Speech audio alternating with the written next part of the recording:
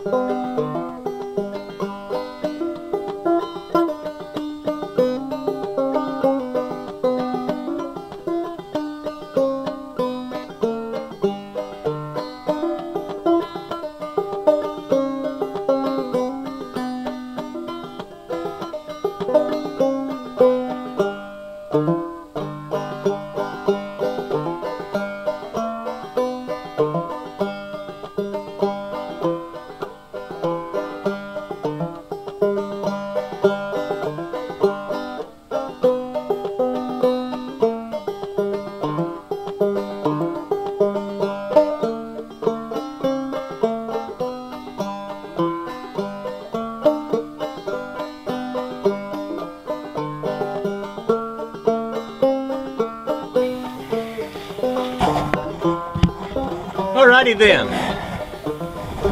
I got a pretty good bit of grease in there. So what I'm gonna do is uh, stick the wheel back on it. I'm gonna leave it right here on the lift because I'm gonna come up under it and first dig out all that old rat's nest out of the uh, out of the uh, frame.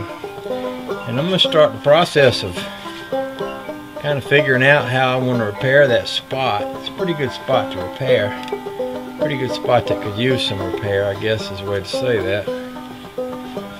I think I'm going to drain this. I got two cans of oil here.